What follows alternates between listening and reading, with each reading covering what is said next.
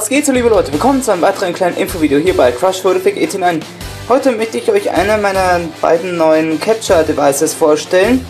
Wie es euch bestimmt schon in äh, Marika 2 beim letzten Online-Part aufgefallen ist, ist da die Qualität weitaus besser und das verdanke ich diesem netten kleinen Schmuckstück hier. Auch bekannt als die Ava Media Live Gamer Portable. Habe ich mir auf Amazon erworben und mit diesem neuen kleinen Catcher-Gerät kann ich alles einstellen. Ja, so winzig klein ist das Ding, ne? Diese, dieses Ding zu kaufen war es auch wirklich allemal wert, denn anders als meine HD-PVR oder so manch andere ähm, HD Capture Devices hat es zum Beispiel auch keinen Verzögerungsleck mehr. Naja, schon eine leichte Verzögerung, aber gerade mal von einer halben bis Viertelsekunde. Weshalb ich das zum Beispiel auch das Kommentar äh, synchron hinzufügen kann, ohne extra Mischpult, welches ich jetzt zum Glück entfernen konnte. Dadurch ist jetzt auch mehr Platz und ich kann zum Beispiel auch meine Wii U hier hinlegen, was auch wirklich sinnvoller für sie wäre. Denn wenn sie steht, dann wird, wahrscheinlich das System beschädigt. Also leichter beschädigt, besser gesagt. So, jetzt zeige ich euch, was dieses kleine Ding äh, also fähig ist. Erstmals die Anschlüsse. Hier sehen wir zum Beispiel einen Schalter für den PC Free Mode und äh, entweder über die und hier kann man einstellen, dass man entweder hier über den PC oder ohne den PC aufzeichnen kann, weil das ist eine mobile Capture Card, womit man auch über die SD-Card aufzeichnen kann, also auf SD-Card die Videos speichern kann, welche hier man hier sieht, also hier ist der Anschluss für die SD-Card, habe ich mir auch noch extra gekauft, aber ich zeichne alles über den PC auf. Kann, wenn man den Schalter umlegt, dann ändert sich das natürlich und auch bei Knopfdruck kann man aufzeichnen lassen, auf diesen hübschen hier. Und angeschlossen wird das natürlich über USB 2.0. Mit diesem Mini-USB-Anschluss geht das nur alleine. Kann man das dann an den PC anschließen. Und ähm, hier zum Beispiel geht das HDMI an den Fernseher.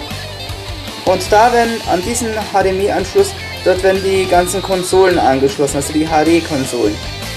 Sobald die Kamera beschließt, sich wieder automatisch scharf zu skalieren, weil das manchmal eine lange Zeit dauert. So, an dieser Stelle hier, das, ist, äh, das geht von der Konsole aus. Da schließt man die Konsole an und dieses HDMI-Kabel schließt man dann an den Fernseher. Und das hier ist äh, das Component Cable. Das ist für zum Beispiel für solche Konsolen wie die PlayStation 2 und die Nintendo Wii alleine oder die PlayStation Portable, weil PlayStation Portable, die Lite-Version unterstützt auch äh, Component. Und damit kann ich auch äh, in besserer Qualität aufzeichnen. Aktuell äh, habe ich da zum Beispiel auch meine PlayStation 2 angeschlossen. Ihr fragt euch PlayStation 2? Hä? Dafür gab es doch keinen Component Cable. Falsch, gibt es. Beim GameStop zum Beispiel gibt es ein, so ein Multi, äh, so eine Art äh, Multi Component Cable, weil ihr seht auch, dass ein AV-Anschluss dabei ist für für, äh, für das alte AV-Anschluss, wo man zum Beispiel, womit man zum Beispiel nur über Grabber aufzeichnen kann. Und hier noch die zusätzlichen Videoanschlüsse für bessere, Video, äh, bessere Bildqualität und natürlich auch die Audio-Devices. Da schließt man alles an. Das geht dann an. Das geht dann von der PlayStation 2 zum Beispiel aus da rein und über das HDMI wird das natürlich äh, auf den Fernseher skaliert, aber es wird trotzdem als äh, Component äh, erkannt, obwohl es per HDMI angeschlossen wird. Das, wird da, das Ganze wird da einfach umkonvertiert praktisch. Ja, ansonsten habe ich jetzt, jetzt mal gezeigt, wie man das ganze Ding anschließt. Wie das Ganze noch äh, mit dem Aufnehmen funktioniert, das zeige ich euch dann noch über den PC. Ansonsten gibt es jetzt eigentlich nichts zu sagen. Ich wollte nur sagen, über den GameStop kann man natürlich auch ein Multi-Component-Cable kaufen, was auch sogar für PlayStation 2 äh, äh, sogar mit der PlayStation 2 kompatibel ist. Da müsst ihr natürlich noch im Hauptmenü vorher auf äh, Component umstellen, damit dann auch die Bildqualität darauf angepasst wird und dass dann auch die Aufnahmen darauf funktionieren. Weil über äh, AV habe ich es auch versucht, aber da habe ich nur ein schwarz-weiß Bild bekommen. Das geht also nicht. Ihr müsst wirklich direkt mit den Component-Anschlüssen arbeiten, damit das funktioniert. Und ansonsten für die HD-Konsolen, für die Wii U, wie zum Beispiel Wii U oder Xbox 360 hier in dem Fall, einfach hier HDMI anschließen an der Stelle. Ich glaube, das ist äh, das HDMI in und das out, wenn ich mich nicht täusche. könnt mich gerne in den Kommentaren ausbessern, wenn es einige von euch besser wissen. So, jetzt habt ihr mal äh, die Capture Card persönlich gesehen und nun äh, wechseln wir noch schnell auf meinem PC. Ja, denn äh, jetzt möchte ich euch auch äh, die Aufnahmesoftware der Abermedia zeigen und wie er das alles äh, aufgebaut ist, wie ich als alles aufnehme. Dazu starten wir das ein bisschen durch, das heißt folgendermaßen, denn ihr müsst nämlich wissen, bei der Lieferung von Abermedia gibt es aber keine Treiber-CD, denn um die Treiber äh, zu bekommen und, das, und die Aufnahmesoftware und die sonstigen dazugehörigen Programme äh, noch zu, zu bekommen, muss man dafür noch extra ähm, auf, die auf die offizielle Website gehen und von dort aus den Treiber runterladen. Ist aber natürlich alles gratis. Möchte ich noch äh, zusätzlich mitteilen. Ich weiß aber nicht, warum sie noch zusätzlich die Treiber liefern. Aber naja, kann man nichts machen, das passt schon, solange man ein Internet hat. Und das äh, Aufnahmeprogramm lautet folgendermaßen, nämlich das Avermedia Recentral. Da musst du natürlich wieder bestätigen. Und mit einer epischen Sequenz eröffnet das neue Aufnahmeprogramm wie kein anderer. Ja, also sieht doch toll aus, oder? Und das ist jetzt das Recentral. In der Bulletin kann man hier zum Beispiel ähm, Neuigkeiten von den offiziellen Websites, äh, von, den neu, von den ganzen äh, offiziellen Websites sich angucken, also über neue Treiber, also über neue Updates, äh, Treiber-Updates oder Programm-Updates und und und. Beim Erfassen kann man äh, gleich einstellen, kann man gleich ähm, sofort auf den Aufnahmebildschirm wechseln. Bei den Assistent kann man ähm, ganzen beim Assistent wird genau angeleitet, wie man ähm, alles anschließen soll. Hier zum Beispiel bei der Game-Konsole, hier auch die schöne die Xbox wird gleich dargestellt mit HDMI oder Component und das HDMI in HDMI in geht das rein und das Out geht dann in den Fernseher und per USB geht es natürlich an den PC oder Laptop. Oder auch über anderer PC. Man kann natürlich auch einen anderen PC selber aufzeichnen damit. Das geht natürlich auch. Geht natürlich an den Monitor über HDMI und ähm, über aktueller PC. Da kann man nämlich auch den eigenen PC aufzeichnen über USB und äh, einen anderen äh, optionalen Monitor noch zusätzlich äh, sich holen. Und äh, wenn man möchte, auch noch zusätzlich äh, den Ton, den Ton sich einfach über Kopfhörer bei der zugehörigen Kopfhörerbuchse auch noch anhören. Aber ich mache das halt äh, ganz anders. Man kann natürlich auch die Videoquelle und die Audioquelle, Videoeinstellungen und den Hotkey alles einstellen. Und natürlich auch bei dem Profil. Das zeige ich euch jetzt nämlich äh, gleich bei den erweiterten Einstellungen. Hier kann man sich nämlich äh, auch einstellen, die ganzen äh, Qualitäten bei der Plattform ist vom aktuellen PC aus oder Game-Konsole und äh, welche Videoquelle man hat, entweder HDMI oder Component, muss man natürlich genau einstellen. Stehen natürlich auch die Einstellungen, äh, in welchem Farbbereich man das ein, also in welchem Farbbereich man die Video anpassen möchte. Und natürlich auch das Erfassungsgerät HDMI. Man kann natürlich zusätzlich auch die Stimme aufzeichnen mit dem äh, äh, Videoprogramm und sogar noch als separate Datei. Also das ist noch besser, weil dann, wenn es sogar separat gespeichert wird, dann braucht dann, dann kann ich noch effizienter damit arbeiten. Natürlich kann man das auch äh, direkt ins Video hinzufügen lassen, aber ich würde eher empfehlen, das als separate Datei zu speichern. Natürlich braucht es etwas mehr Renderzeit, wenn man noch zusätzlich äh, die Audiospur hinzufügen muss, aber äh, ins Renderprogramm. Aber es lohnt sich auf jeden Fall, weil ich äh, bin normalerweise kein Fan von separaten Aufnehmen gewesen, vor allem wegen Outer City und so, weil da auch alles asynchron werden kann. Aber wenn das jetzt mit dem Capture-Device mit aufgenommen wird, dann kann das alles noch synchron hinzugefügt werden. Weil dann wird es direkt in der Sekunde äh, genauso zugefügt wie, ähm, also im Punkt genau hinzugefügt wie das Video. Also punktgenau aufgenommen wie das Video und ja, dann denke ich mir, okay, passt perfekt. Weil ich hatte zuerst noch vorgehabt, den Aufnahmebildschirm über Fraps aufzuzeichnen. Aber da schon eine winzig leichte Verzögerung entsteht, ist es doch eher empfohlen, das äh, dem Capture-Programm zu überlassen. Man kann natürlich auch die Hotkeys äh, für den Start oder für den Start der Videoaufnahme oder den oder der oder wenn man äh, die Wiederaufnahme wieder beenden möchte, auch noch äh, festlegen. Auch Schnappschüsse für die auch äh, Schnappschüsse beziehungsweise um, um, Screenshots von den äh, Aufnahmen zu erstellen. Und äh, auch natürlich äh, die Mikrofonaufnahme, falls man dazwischen die Mikrofonaufnahme jetzt starten oder stoppen möchte, kann man das natürlich auch so einstellen. Da kann man es natürlich auch verschiedene Optionen, wie zum Beispiel äh, den mit Schnelltasten steuern oder zum Sprechen drücken. Aber ich würde vorschlagen, euch empfehlen, dass ihr es auf immer ein einstellt, weil bevor ihr vergesst, äh, dass ihr ähm, dass ihr die, dass ihr das Mikro, dass ihr es mit dem Mikrofon aufzeichnen wollt, solltet ihr auf immer ein einstellen. Und äh, ich muss euch noch erzählen, der Nachteil jetzt bei dieser Capture Card ist, dass es nur entweder im TS oder im MP4-Format aufzeichnen kann und äh, ich würde euch hier eher davon abraten, in MP4 direkt aufzuzeichnen. Ich habe das mal mit meiner HD-PVR versucht, äh, als ich sie zum ersten Mal bekommen habe und die ersten Videos damit aufgezeichnet habe. Und da ist was schief gelaufen. Zum einen meine ersten beiden Renderprogramme, Camtasia, sowohl Camtasia als auch äh, mein letztes äh, HD-Renderprogramm Adobe Premiere Elements, sind beide damit nicht zurechtgekommen. Entweder hat es bei Adobe Premiere Elements am Ende ziemlich extremst geruckelt oder in Camtasia ist es zwar flüssig gelaufen, aber dazwischen ist dann am Ende der, der Ton so zum Bild extremst asynchron gewesen. Das war schrecklich. Da, da muss ein Fehler vorgelegen sein. Deswegen solltet ihr es gleich im TS-Format aufzeichnen. Damit kommt aber leider auch kein Renderprogramm zurecht. Ich hab's, weil ich habe aktuell jetzt Magix zusätzlich noch zu Camtasia und Camtasia kommt ohnehin mit dem TS-Format nicht zurecht.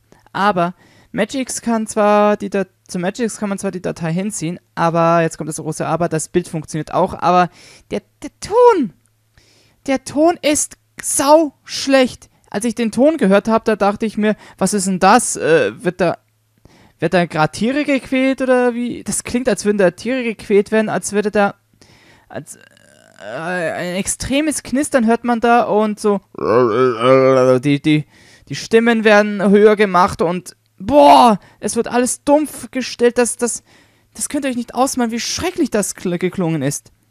Und deshalb äh, wird es empfohlen, ähm, noch zusätzlich ein anderes Programm zu installieren, was auch noch von derselben Seite angeboten wird, nämlich äh, TS to MP4. Damit kann man nämlich äh, die TS-Videoformate gleich auf MP4 umkonvertieren lassen, damit das dann auch fehlerfrei läuft. Es ist eigentlich auch kaum zu fassen, wenn, wenn man äh, die Videodatei über Windows Media Player, also die Rohdatei, über Windows Media Player abspielt, funktioniert sie komplett normal. Aber wenn man sie in ein Renderprogramm zieht und rendern lässt, dann äh, geht das scheißlich. Ich weiß auch nicht warum. Liegt wahrscheinlich an einem Codec oder was auch immer. Ich kenne mich damit nicht aus. Sorry, also äh, da, da bin ich die falsche Ansprechperson, wenn es um sowas geht. Da dürft ihr mich nicht fragen.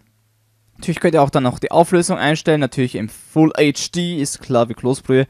Ich habe auch die höchste Videobitrate eingestellt mit maximal 60 Megabyte äh, pro Sekunde. Videobitrate kann es aufnehmen. Audiobitrate äh, durchschnittlich werden 192 Ki äh, Kilobyte pro Sekunde ähm, ausreichend. Und es kann leider auch nur maximal in 30 Frames aufzeichnen in der Bildfrequenz.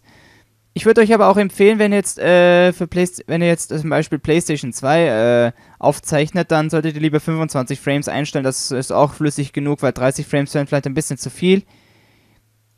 Und das würde zu viel Speicher bringen und das würde eben nicht so viel Unterschied ausmachen. Aber die 30 Frames, die ich, lasse ich dann auch bei den Full HD Aufnahmen wie über, H, äh, über die Wii U oder die Xbox 360 eingestellt und Wii und die Wii Games, welche ich über die Wii U spiele, wie zum Beispiel zuletzt noch Mario Kart Wii lasse ich auch so eingestellt.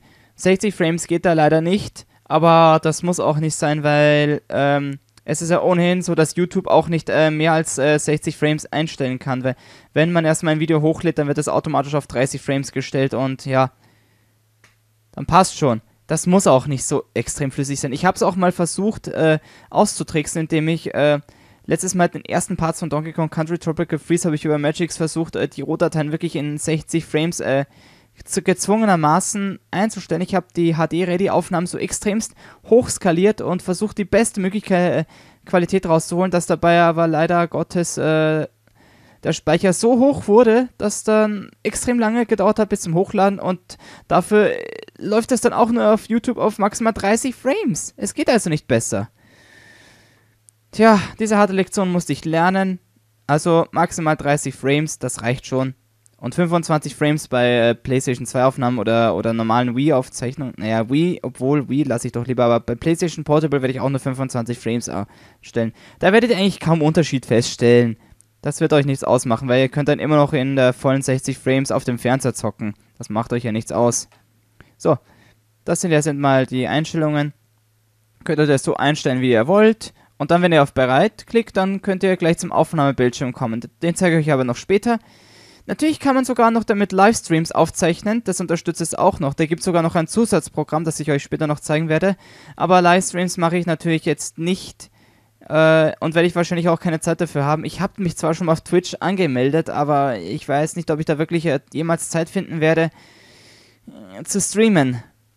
Weil vor allem braucht man ja auch Facecam dabei. Facecam ähm, werde ich wahrscheinlich auch nie aufzeichnen, aber ich habe ähm, das muss ich euch noch, auch noch erzählen. Zusätzlich äh, habe ich noch äh, zum Capture Card und den Aufnahmen zur Capture Card habe ich noch zusätzlich eine, eine, ein, ein, ein Lizenzcode für eine dreimonatige gratis äh, Premium-Mitgliedschaft für äh, XSplit bekommen. Ja, XSplit ist ja auch erst ein Programm für Livestreams und äh, vor allem für, für Facecam-Aufnahmen, aber wisst ihr was, ich halte nicht so viel davon, deswegen nutze ich das jetzt aktuell auch gar nicht. Wenn ich mal Zeit finde, kann ich mich mal ein bisschen daran probieren, weil ich habe es ja schon mal probiert, aber es äh, bringt natürlich nichts. Ja, und beim Videoordner, ja, da könnt ihr dann einen Videoordner, in dem ihr gerade äh, äh, aktuell die Videos speichert, äh, aufrufen und wohin ihr alles speichert, das könnt ihr dann bei diesen Einstellungen äh, einstellen. Die Sprache natürlich, die Transparenz, wofür die ist, weiß ich natürlich nicht. Und die OSD-Option, also die aktuellen PC-Modus nicht verfügbar, keine Ahnung, wofür die jetzt nochmals sind. Weil ich nehme auch alles nur von der normalen äh, Konsole auf. Ansonsten ähm, weiß ich nicht, wie das jetzt noch äh, für diese OSD-Optionen sind. Die könnt ihr euch selber mal, ähm, die könnt ihr gerne euch äh, selber mal angucken. Recentral beim Start ausführen, da könnt ihr zum Beispiel direkt beim Start schon auf den Aufnahmebildschirm gehen. Könnt ihr einstellen, ob ihr das tun wollt oder nicht. Und natürlich äh, hier den, äh, den, Speicherordner einstellen für die Videos und äh, für die, für die, äh, für die äh, Mikrofondatei, also für die zusätzliche Mikrofondatei, die wird auch im selben Ordner noch zusätzlich separate Spur untergebracht, sofern ihr sie auch so einstellt und noch das Profilmanagement, äh, wo ihr euer Profil einstellen könnt. Also nochmals die ganzen Einstellungen, also die, die Qualität und was auch immer. Ja, so viel mal dazu. Das wollte ich euch noch schnell zeigen. Okay, jetzt habt ihr mal alles gesehen. Und jetzt äh, kommen wir mal zum Erfassungsprogramm. Wahrscheinlich wird es jetzt ein bisschen laggig sein, das tut mir natürlich schon leid, aber es liegt auch an Camtasia, da ich es jetzt in einem höheren Bild auf, dass ich jetzt in ein, äh, höhere, ein, ein höheren Format aufzeichne, also den fast den kompletten Desktop, da leckt es dann auch ein bisschen, das tut mir dann furchtbar leid. Aber jetzt gehen wir erstmals zum Aufnahmebildschirm und ihr werdet erkennen, was da gerade ist. Ja! Da gibt es schon mal einen kleinen Teaser für ein weiteres Let's Play-Projekt. Die ersten sechs Parts sind davon schon aufgenommen. Dragon Ball Z Budokai 3 für Xbox 360, ja? Aus der Dragon Ball Z Budokai HD Collection. Wo Dragon Ball Z, äh, wo, äh, welches Dragon Ball Z Budokai 1 und Budokai 3 als HD Remake enthält. Also HD Remakes, besser gesagt. Ja. Und da könnt ihr natürlich auch äh, einstellen, ob ihr den Ton ausgeschaltet lassen wollt oder nicht. Weil der Ton wird ja trotzdem aufgenommen. Aber ich lasse es immer an für alle Fälle. Den Schnappschuss könnt ihr hier einstellen, also wo ihr gleich, Screen, wo ihr gleich äh, einen Screenshot erstellen könnt, auch für Thumbnails zum Beispiel. Und hier die Aufnahme geht direkt. Und das Ganze wird natürlich läuft verzögert, äh, verzögert sich auch nur zwischen dem Fernseher und dem Aufnahmebildschirm um gerade mal eine halbe bis Viertelsekunde. Also es läuft eigentlich ziemlich flüssig. Also es läuft eigentlich ziemlich ähm, fast ohne Verzögerung. Besser als jede andere Capture Card. Und hier könnt ihr natürlich auch noch die Farbe einstellen. Und hier seht ihr dann den Timer, wie lange es, ähm, wie lange jetzt bereits, äh, wie, wie lange ihr jetzt bereits beim Aufnehmen seid, sofern ihr den Aufnahmeknopf gedrückt habt. Am besten nehme ich jetzt auch mal schnell was auf und ähm, ich würde vorschlagen, ich, ich teste es mal und zeige es mal bla bla bla bla bla. Bla bla bla bla bla bla bla bla bla bla bla bla bla bla bla bla. So. Das, da wurde schon mal was aufgenommen. Und jetzt gehen wir nochmal schnell zum äh, Aufnahmeordner. Videoordner. Und da seht ihr schon, da wurden zwei Spuren erstellt. Zum einen die Videodatei und zum anderen äh, meine, meine Mikrofonaufnahme. So, das war es erstmals. Ich habe euch mal äh, durch äh, das Aufnahmeprogramm von meinem neuen Ava Media Live Game Portable durchgeführt. Ihr könnt jetzt natürlich noch gerne äh, selber erkundigen, wie alles genau funktioniert. Also ihr könnt es natürlich jetzt selber ausprobieren, wollte ich sagen. Ich habe euch jetzt erstmal nur äh, das äh, mitgeteilt, was ich jetzt bisher weiß. So. Und hier zeige ich euch nochmal, wie schon gesagt, wenn ihr wenn ihr äh, TS-Videodateien äh, noch äh, umkonvertieren wollt, dann geht ihr einfach auf dieses Programm hier, TS2MP4. Da sucht ihr euch einfach den Ort, sucht euch einfach äh, die Dateien und zieht sie entweder rüber oder, oder, oder lässt sie euch einfach hier darüber, rund, darüber äh, hinziehen. Und dann konvertiert ihr die ganzen und schon. Und, äh, und ihr müsst natürlich dann auch einstellen, wohin ihr das auch speichern wollt. Ich speichere es, lasse es natürlich dann beim selben Ordner noch reinspeichern, also beim, beim Videoordner, wo ich meine äh, ganzen auf Rohdateien hinspeichere von meiner Capture Card aus. Und jetzt, und wenn ich das dann hinziehe, dann konvertiere ich das einfach und schon, äh, was ich sagen wollte, sobald das konvertiert ist, ist dann die MP4-Datei fertig. Die ist dann im Speicherplatz etwas geringer, aber die Qualität ist äh, die gleiche und auch die Länge des Videos. Und dann wird natürlich auch jedes Rennerprogramm damit fertig werden. Das würde ich euch nur zusätzlich empfehlen, dass ihr das auch noch mitnehmt, dass ihr das auch noch beachtet. So. Ansonsten gibt es natürlich noch andere zusätzliche Programme, wo zum Beispiel auch Livestreams und so unterstützt wird, wenn ihr auf der Website guckt, aber das zeige ich euch jetzt natürlich nicht unbedingt. Jetzt wisst ihr, äh, wie es genau abläuft mit meiner neuen Capture Card. Ich hoffe, ich konnte euch einen kleinen Eindruck davon geben und was die andere Capture Card sein wird, ihr werdet es sehen, sobald sie kommt.